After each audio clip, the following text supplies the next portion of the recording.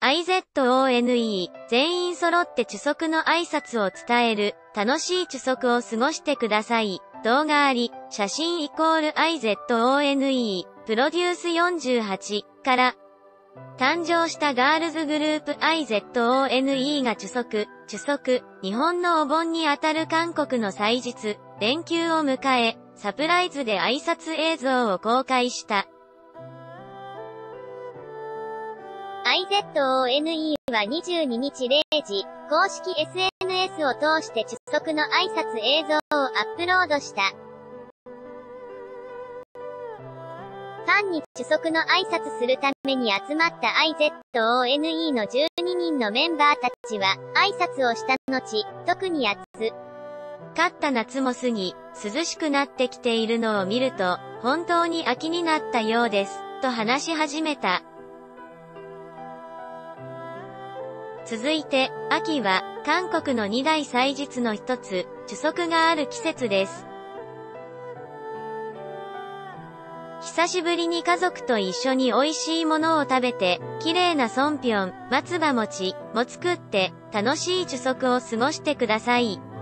皆さん、安全運転してください、と伝え、微笑ましい主足の挨拶を終えた。エムネットサバイバル番組、プロデュース48を通して誕生したプロジェクトガールズグループ IZONE は17日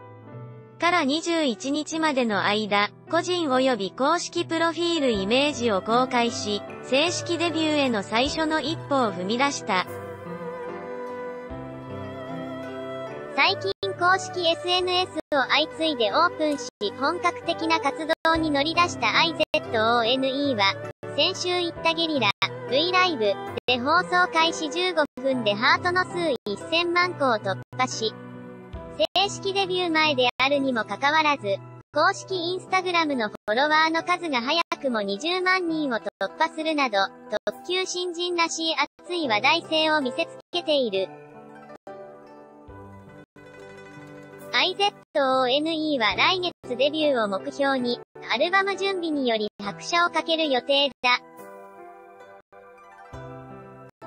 IZONE 所属事務所がオフザレコードエンターテインメントに決定 FROMIS アンダーバー Q と同じ所属に